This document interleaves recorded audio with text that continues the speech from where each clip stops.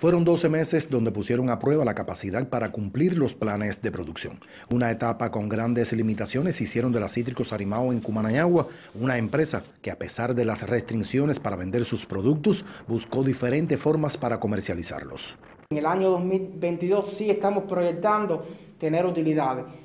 Esto se ha ido logrando a partir del encadenamiento que hemos tenido con diferentes mercados. De los cuatro renglones exportables, logramos desarrollar seis renglones eh, exportables. En el caso de la pulpa de mango acética, eh, se sacó a través del polo exportador de Ceballos y tenemos un fuerte encadenamiento con el, con el Mariel. Estamos tributando al Mariel con dos toneladas de, de vianda que salen de nuestro polo productivo que ya eh, entre las 800 hectáreas con una integración de tres bases productivas más la web productiva de la empresa que eh, tiene un marcado crecimiento en la producción de yuca, viandas, hortalizas, la cosecha de mango, el ají picante y la lima persa unido al carbón vegetal no alcanzaron los niveles de exportación planificados. Aún así lograron llegar a diferentes mercados en la zona europea. Tuvimos que a partir de la situación difícil que tuvieron las industrias del país,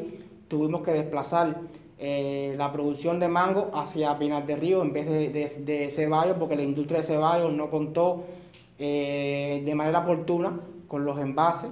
Y eh, esto encareció los costos de, transportación y arrojó que nuestro renglón fundamental, que es el mango, no arrojara los beneficios potenciales. Por su parte, el polo productivo llegó a las más de mil hectáreas en explotación, con diferentes destinos desde esta zona en desarrollo, buscan el encadenamiento productivo para perfeccionar la empresa estatal socialista.